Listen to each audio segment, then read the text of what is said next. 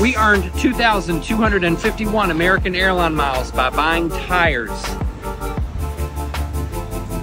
Log on to the American Airlines AAdvantage e-shopping portal.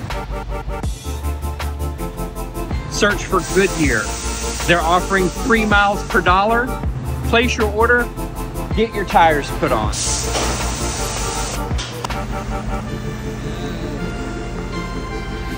And this is how